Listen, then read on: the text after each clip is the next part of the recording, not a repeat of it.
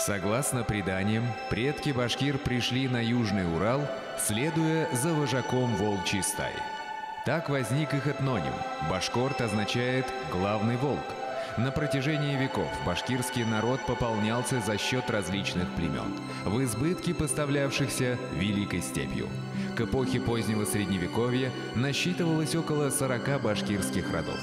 Они были рассеяны по территории всей исторической Башкирии, от Камы до Тобола. В нашем фильме мы расскажем об одном из них.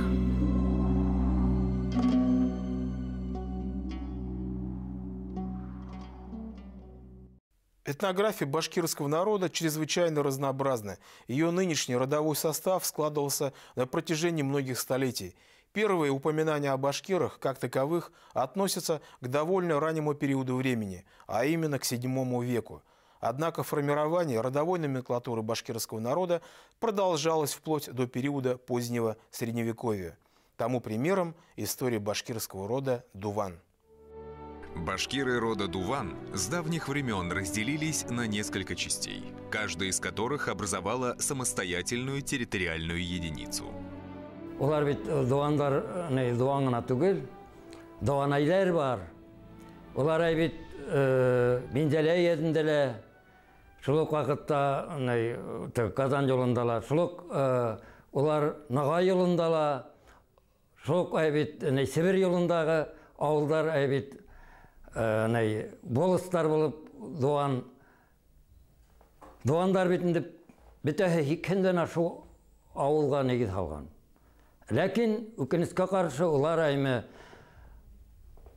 түрлі тарафтарға таралғандар мәселен анай тоймазы тарафтарында көшіп барғандар бетінде олар кире қайтқандар Действительно, как свидетельствуют источники, башкиры рода Дуван проживали на трех дорогах Башкирии – Сибирской, Казанской и Ногайской. Башкирия состояла из четырех исторических областей, именуемых дорогами – Ногайской, Казанской, Сибирской и Осинской. Данное слово является русифицированным вариантом монгольского термина «дорога», то есть «наместничество». Деление на дороги было введено в период Золотой Орды. Если обратиться к топографии Оренбургской историка Петра Рычкова, зафиксировавшего родовую номенклатуру башкир середины XVIII века, то можно увидеть следующее. На Ногайской дороге значился Дуванский аймак в составе Табынского объединения. На Сибирской дороге – Дуванский, Таз-Дуванский аймаки в составе Айлинского объединения и Дуванский аймак Кудейской волости на Казанской дороге. Зафиксирована отдельная Дуванская или Дуванейская Дунейская волость.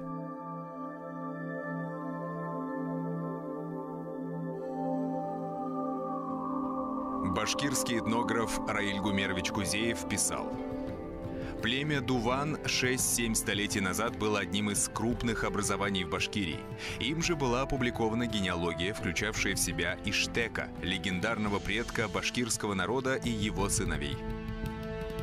Вопрос происхождения и общей схемы ранней истории башкирского рода Дуван получила достаточное освещение в работах ученых. Гораздо менее известно о причинах возникновения отдельных клановых структур дуванцев, разбросанных по трем дорогам Башкирии. Что заставляло их мигрировать в разных направлениях и где находился их коренной юрт?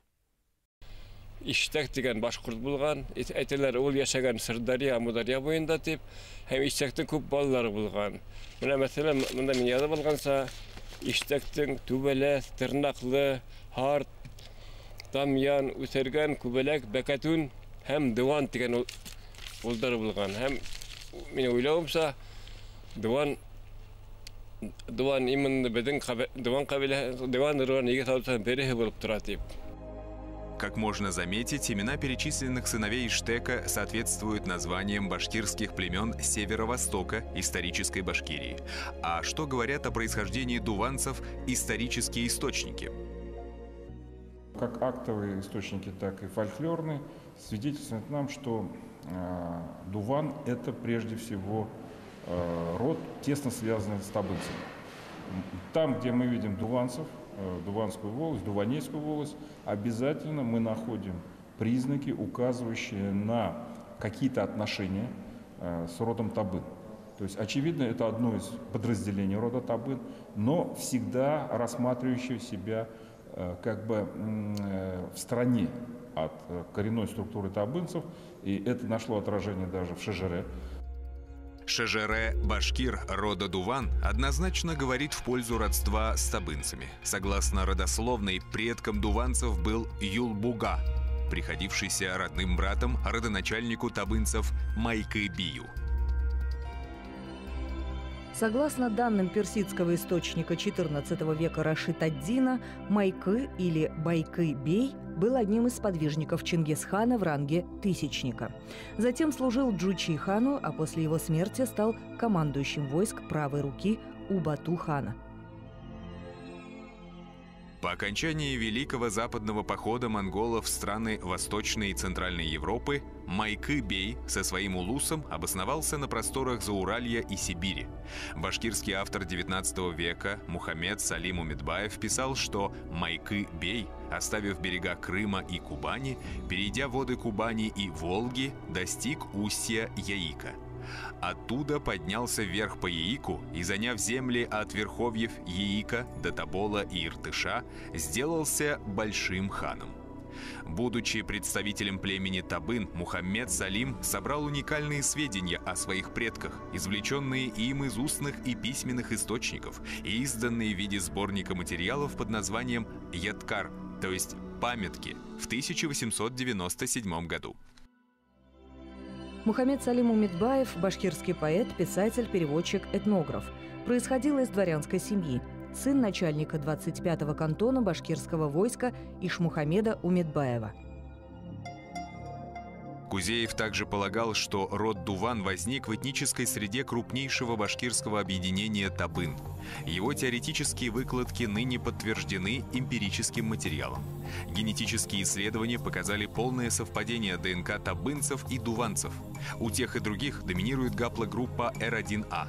Ученый-генетик из Томска Владимир Волков пишет, в связи с высокой вероятностью генетического происхождения дуванцев и других майкобиевичей от индоиранских племен, следует указать на гипотезу об индоиранской основе племен Дуван и Табын. В связи с этим вспоминается, что Майкыбей в башкирских шежере именуется Уйшин Майкыбеем. Уйшин – название одного из племен Улуса Джучи – по мнению исследователей, уйшины восходят к объединению ираноязычных племен II века до нашей эры, известному по китайским хроникам под названием Усунь. Таким образом, происхождение башкир-табынцев и дуванцев нужно относить к миру сако-сарматских кочевников Евразии –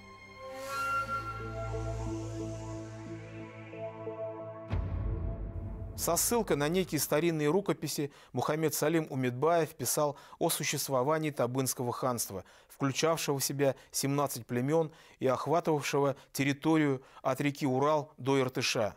Конечно, некоторые детали сообщения писателя нельзя понимать буквально. Например, квалификация так называемого Табынского ханства именно как ханство некорректна, поскольку в рамках Золотой Орды ханами могли быть только потомки Чингисхана. Тем не менее, существование в Заурале и Сибири крупного политического объединения Табын несомненно. Что касается рода Дуван, то его этноним возник из социального термина «дуван», имевшего хождение в Золотой Орде и постордынских ханствах. Так, например, в 1489 году казанский хан Мухаммед Амин прислал к нагайскому правителю Мусабею своего человека, Хашкилдей Дувана, о сватовстве – Таким образом, дуваны выполняли дипломатические, фискальные и казначейские функции при различных ханах. Не случайно у казаков дуваном именовался общий сбор с целью дележа добычи, а выражение «дуван-дуванить» значило «делить трофей». Термин «дуван» произошел от арабского слова «диван», обозначавшего исполнительный орган в мусульманских странах. А поскольку ханская вертикаль власти подразумевает определенное разделение функций между э, кланами, которые составляют основу э, ханской власти, то сам термин «дуван» э, нацеливает на нас на поиск той функции, которую выполняло это, это подразделение. Очевидно, следует обратиться к самому понятию «дуван» как обозначению титула значение которого можно перевести как советники или как распределители э, ханского имущества, своего рода такие хозяйственные исполнители. Младшим братом Бату-хана был Шибан, один из командующих Великого Западного похода монголов. Ему достались в удел просторы Западной Сибири, Зауралья и Казахстана.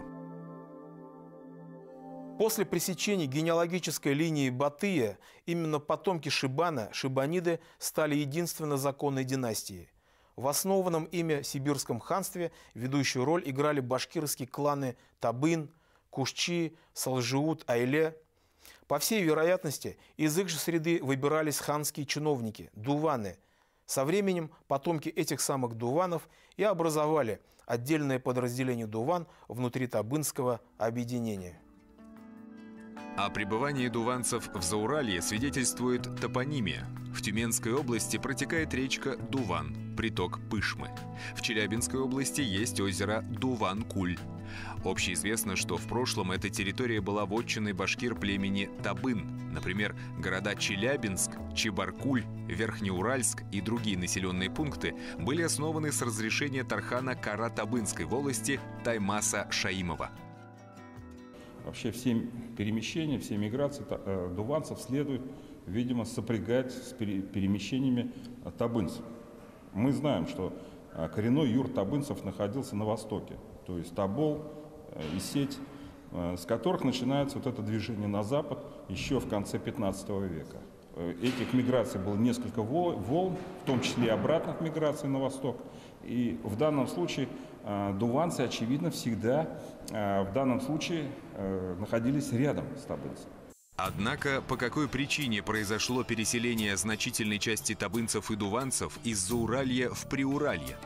Предание, записанное Мухаммед Салимом Умедбаевым, на сей счет рассказывает, что табынские князья Асади-бей и Шакарли-бей находились в подчинении у двух ханов сибирского юрта из рода Чингисхана по имени Ибак и Шайбак.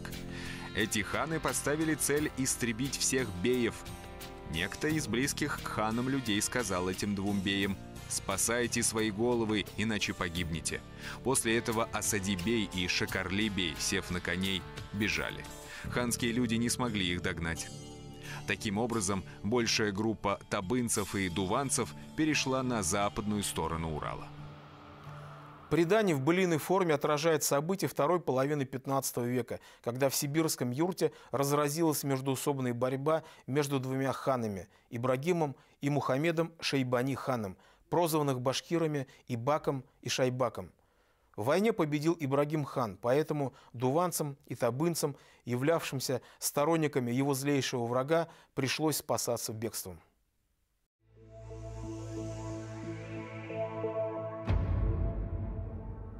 Большая группа дуванцев в конце 15 века поселилась в долине реки Ай и вошла в состав Айлинского объединения, образовав подразделение Дуван-Айле Сибирской дороги. илле ел улардың бұл тараптарда уже ауылдарға неге салған деп бара Әйтерге керек бұл Дуан ұрауының әймәней. ең көбі ұйышып ешеген түбәгі біздің мәсітлер айыны. 17 ауылға негіз алып. Әлінгі айкономия китабында мен есептеп сығардым. Олар әйлелерге қарағандала ең көп ауылдарға негіз алған болып. Әгер де Дуан әй ауылдарын индіргенде. В прошлом вотчинные земли башкир-дуванцев охватывали более обширную территорию по сравнению с нынешним ареалом их расселения. Название села Дуван в Дуванском районе наглядно свидетельствует об этом. Біздің ердар Дуван ердері міне Башқұртстан Төнекін соғыс районында заманында бик зур ер билеп тұрған. Әйтәйек, әлеге мәлдә Мәсетле районының ердәре яртыһы Э, балаката районунун кирдери керек кыйгы районунун кирдери шунан дубан районунун бир үлүшү болот э, түрлүү кортомго э, берүү боюнча башка киши ыруулар келип мисалан харт ыруу келип отурган болгон уларга ирдерин бергендер ошо дубан касабасы бар битинде уларга мына урустарга ирдерин берип ушулайтип бүлгүлөнүп ирдери кемигенден кемиген Әлеге мәлдә менә Башкорт Дуван районына кергән авылдар әле хана үткән ошо Мәсле районында, Балаката районында һәм Кыйгы районында урнашкан. Дуван районында әле бер генә Дуван авылы юк. Башкиры Сибирской дороги вошли в состав русского государства позже остальных, лишь в первых десятилетиях 17 века. Дело в том, что, будучи исторически тесно связаны с сибирским юртом, они до конца поддерживали хана Кучума и его преемников – Лишь заключение союза между Кучумовичами и калмыками, перекочевавшими из Монголии, и возникшая в связи с этим угроза калмыцкого порабощения оттолкнула башкир сибирской дороги от их бывших сюзеренов. Біздің дуан рауының ураны салава тандал, нейхе ағасы терек, қошы шұңқар біздің дуан рауының тамғаһы хәнәк менән әүренә безнең әнә дуганырыуның тамгалары. Ул тамгалар бик күп бит инде. Нейдең безнең нейдең дуганырыуның тамгалары шулай. В 17-18 веках долина реки Ай всегда была эпицентром повстанческих движений на сибирской дороге. Не случайно полковник Тевкелев, прославившийся своими зверствами в ходе подавления башкирского восстания 1735-40 годов, писал, что айские башкиры всех прочих башкирцев непокорливее и злодейственнее. И всякое неспокойство, во-первых, происходит от айских башкирцев – Одним из предводителей данного восстания был Мандар Карабаев. Мандар Миндияр Карабаев старшина Дуванской волости Сибирской дороги, один из предводителей башкирского восстания 1735-1740 годов. Мандар Карабаев участвовал во многих дерзких операциях повстанцев. Например, в 1737 году он вместе с мулой Куваканской волости Бипений Турубердином разгромил отряд Ямбургского драгунского полка.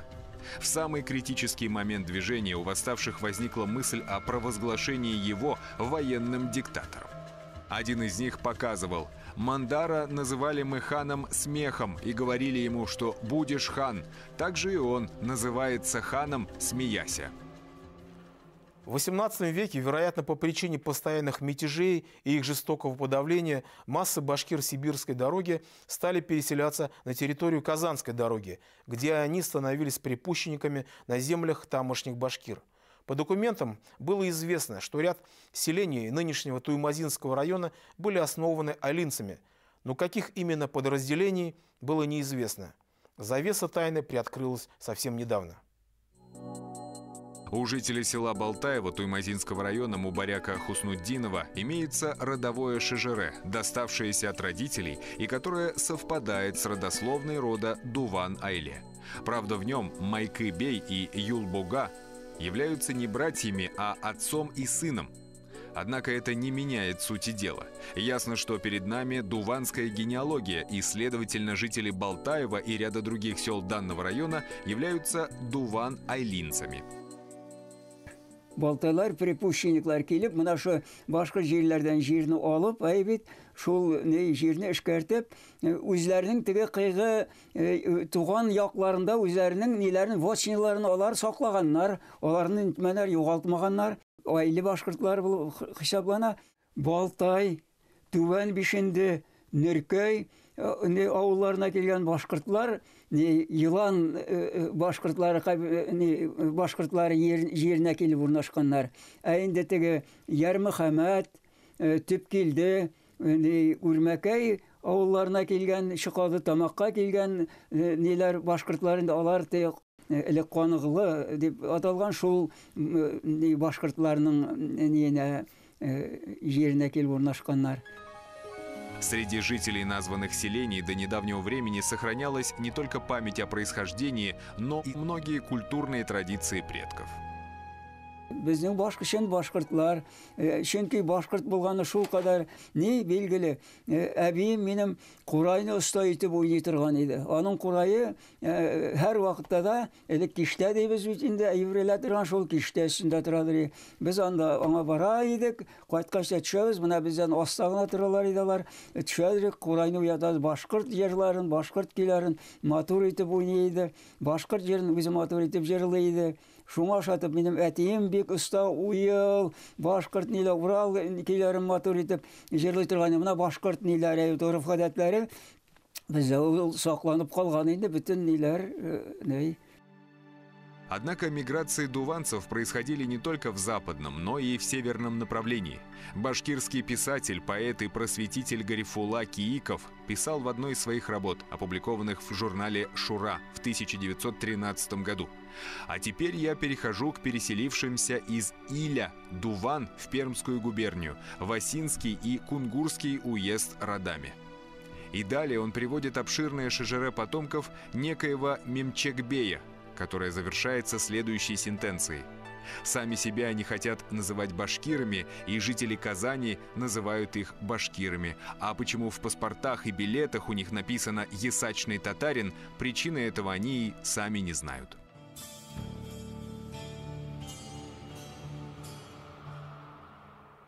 Когда двигаешься по автотрассе Р-315, соединяющей Уфу и Пермь, в стороне остается селение с загадочным названием Удельно-Дуваней. Это старинное русское село, основанное, судя по названию, удельными или дворцовыми крестьянами, то есть принадлежавшими императорской фамилии. Вторая часть названия Дуваней указывает на родовую принадлежность данной территории. Как считал этнограф Раиль Гумерович Кузеев, название «Дуваней» является русифицированным вариантом названия «Дуван». Есть также мнение, что слово является композитным термином, состоящим из этнонима «Дуван» и частицы «Ай», отражающей название Айлинской волости.